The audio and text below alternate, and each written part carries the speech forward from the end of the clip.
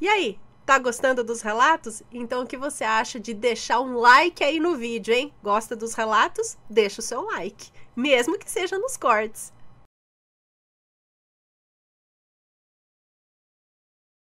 Cuidado com a boca suja.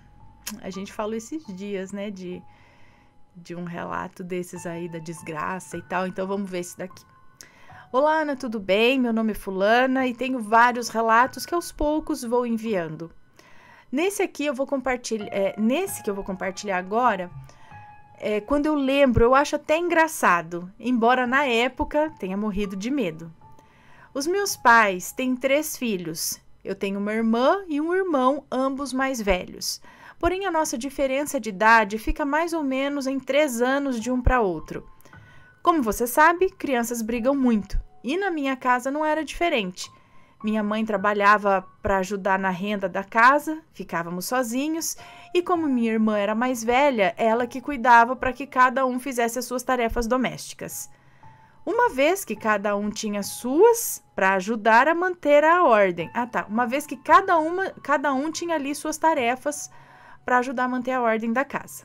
Porém, o meu irmão, por ser um pouco só mais novo que ela, sempre ficava desobedecendo quando ela falava e sempre gritava muitos palavrões. Minha mãe ficava muito brava com isso e sempre dizia que não se deve xingar dentro de casa e que uma hora ele ia ver no que ia dar. Eu devia ter uns sete anos nessa época, mas eu me lembro como se fosse hoje. Minha mãe havia feito uma reforma na nossa cozinha e fez um arco entre a sala e a cozinha, e em cada extremidade desse arco havia uma coluna para colocar enfeites, coisa que era bem comum nos anos 90. Você já deve ter entrado em alguma casa assim. Sim, e eu achava lindo. Bom, me lembro que ela havia colocado uma imagem de uns 40 centímetros de altura de um santo católico que eu não me lembro qual era ela colocou esse santo em uma dessas colunas. Ana, nem me lembro por que os meus irmãos estavam brigando naquele momento. Eu estava no sofá da sala, bem de frente para a cozinha, onde os dois brigavam, agarrados, um batendo no outro. Meu irmão batia e xingava uns palavrões para minha irmã, e quando eu falei para eles pararem de brigar. Tim! Tim! Opa, perdão. aqui.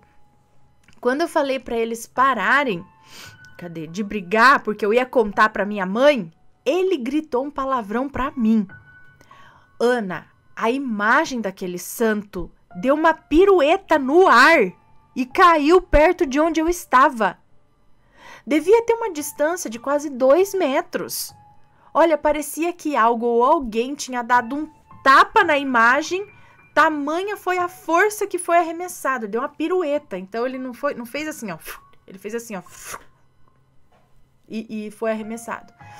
Nós ficamos mudos. Porque quando meu irmão gritou, ele olhou para mim e a imagem do santo estava entre nós.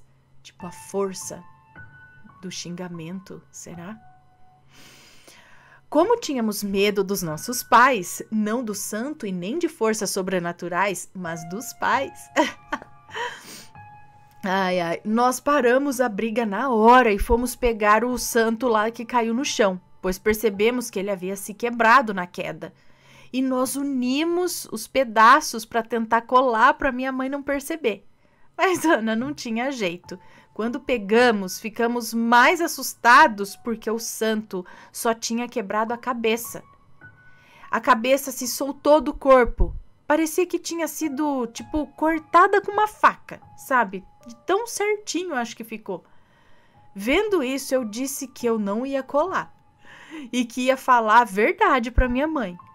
Eles ainda colaram a cabeça de volta, mas dava para ver que estava colado. Quando minha mãe chegou, eu contei para ela o que havia acontecido, morrendo de medo dela bater na gente porque ela era muito brava. Para minha surpresa, ela não ficou brava. Só falou pro meu irmão que já tinha falado para ele parar de pronunciar essas coisas, principalmente para minha irmã e para mim. E que era para parar de ficarmos brigando porque tinha alguém que ela pedia para ficar de olho na gente quando ela saía para trabalhar. Mas esse tipo de coisa na minha família é normal, Ana. É, porque, embora todos tenhamos nos crismado na igreja católica e tal, o meu pai nessa época já era da Umbanda há vários anos e todos nós sempre frequentamos. Inclusive é uma religião a qual tenho muito carinho e respeito. Ana, esse foi o meu primeiro relato para o canal, mas vou enviar mais, porque fazendo parte dessa família eu tenho muitos outros relatos sobrenaturais. Um beijo a você e sua família, adoro o canal. Um beijo para você, muito obrigada. Uh, então, a sua mãe já falou que tinha alguém que ficava ali olhando vocês. Então, será que talvez essa coisa tenha dado um basta, jogado o santo para dar um basta na briga?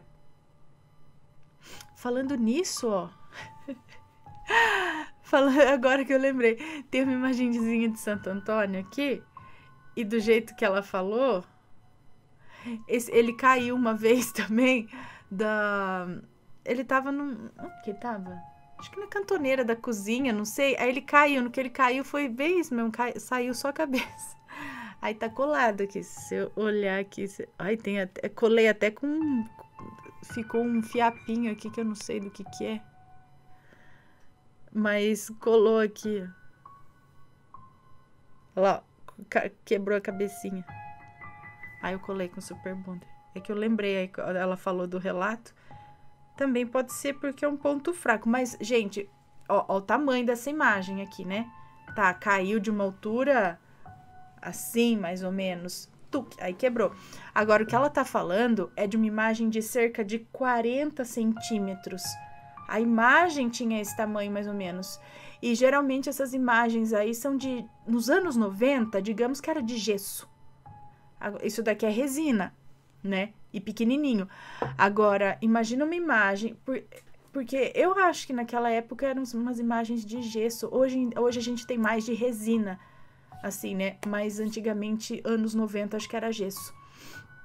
Então, imagina uma imagem dessa, do jeito que ela falou, sendo arremessada, dando uma pirueta com força, prá, no chão. E só, e só é, dividir, sair a, a cabeça era para ter, acho que, espatifado no chão, né? Principalmente sendo gesso, ou pelo menos lascar. Lembra que lascava e ficava branco assim? Né? Ah, eu acho.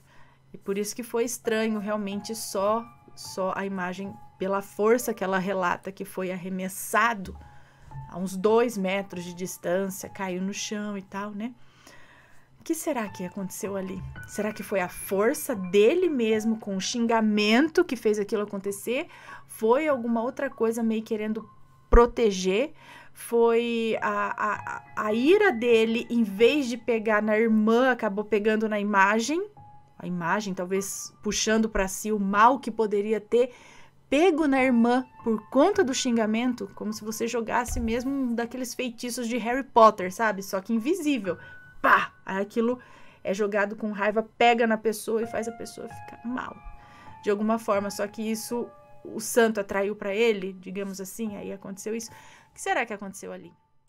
Me conta, gostou do relato? Então o que você acha de deixar um comentário aqui embaixo, sempre com respeito, por favor, além do like, é claro.